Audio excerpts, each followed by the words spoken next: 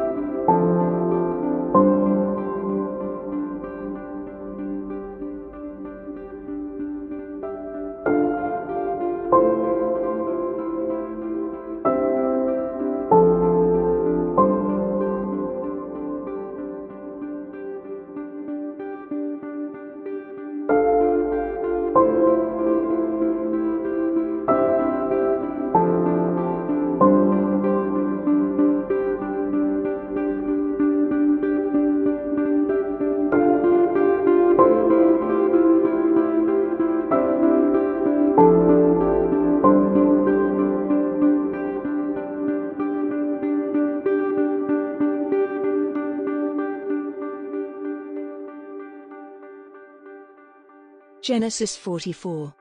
Then, he gave orders to the servant, who was over his house, saying, Put as much food into the men's bags, as will go into them, and put every man's money in the mouth of his bag, and put my cup, my silver cup, in the youngest one's bag, with his money. So, he did as Joseph said. And at dawn, the men, with their asses, were sent away.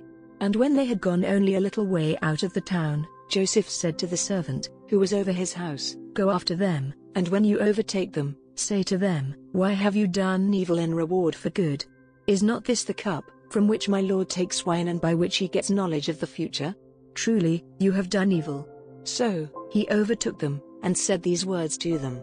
And they said to him, Why does my Lord say such words as these? Far be it from your servants to do such a thing. See, the money which was in the mouth of our bags, we gave back to you when we came again from Canaan. How then might we take silver or gold from your Lord's house? If it comes to light that any of your servants has done this, let him be put to death, and we will be your Lord's servants. And he said, Let it be as you say, he in whose bag it is seen will become my servant, and you will not be responsible. Then, every man quickly got his bag down, and undid it. And he made a search, starting with the oldest, and ending with the youngest, and the cup was in Benjamin's bag. Then, in bitter grief, they put the bags on the asses again, and went back to the town. So Judah and his brothers came to Joseph's house, and he was still there, and they went down on their faces before him. And Joseph said, What is this thing which you have done? Had you no thought that such a man as I would have power to see what is secret? And Judah said, What are we to say to my Lord? How may we put ourselves right in his eyes? God has made clear the sin of your servants. Now we are in your hands, we and the man in whose bag your cup was seen. Then he said, Far be it from me to do so, but the man who had my cup will be my servant, and you may go back to your father in peace. Then Judah came near him, and said, Let your servant say a word in my lord's ears, and let not your wrath be burning against your servant, for you are in the place of Pharaoh, to us. My lord said to his servants, Have you a father, or a brother? And we said to my lord, We have an old father, and a young child, whom he had when he was old. His brother is dead and he is the only son of his mother, and is very dear to his father. And you said to your servants, Let him come down to me with you, so that I may see him. And we said to my lord, His father will not let him go, for if he went away, his father would come to his death. But you said to your servants, If your youngest brother does not come with you, you will not see my face again. And when we went back to your servant, our father, we gave him an account of my Lord's words. And our father said, Go again, and get us a little food. And we said, Only if our youngest brother goes with us, will we go down, for we may not see the man's face again, if our youngest brother is not with us. And our father said to us, You have knowledge, that my wife gave me two sons, the one went away from me, and I said, Truly, he has come to a violent death, and from that time, I have not seen him. If now, you take this one from me, and some evil comes to him, you will make my grey head go down in sorrow, to the underworld. If then, I go back to your servant, my father, without the boy, because his life, and the boy's life are one, when he sees that the boy is not with us, he will come to his death, and our father's grey head will go down in sorrow to the underworld. For I made myself responsible for the boy to my father, saying, If I do not give him safely back to you, let mine be the sin forever. So, now let me be my Lord's servant here in place of the boy, and let him go back with his brothers. For how may I go back to my father, without the boy, and see the evil, which will come on my father?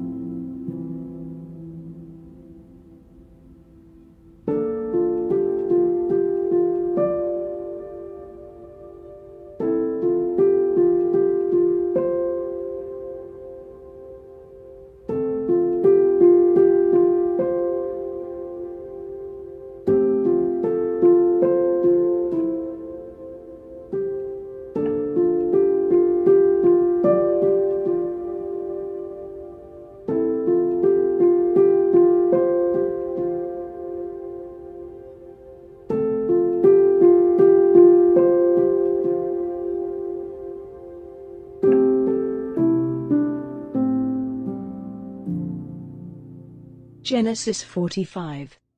Then Joseph, unable to keep back his feelings before those who were with him, gave orders for everyone to be sent away, and no one was present when he made clear to his brothers who he was. And so loud was his weeping, that it came to the ears of the Egyptians, and all Pharaoh's house. And Joseph said to his brothers, I am Joseph, is my father still living? But his brothers were not able to give him an answer, for they were troubled before him. Then Joseph said to his brothers, Come near to me. And they came near, and he said, I am Joseph, your brother, whom you sent into Egypt. Now, do not be troubled, or angry with yourselves, for sending me away, because God sent me before you, to be the Savior of your lives. For these two years have been years of need, and there are still five more years to come in, which there will be no plowing, or cutting of grain.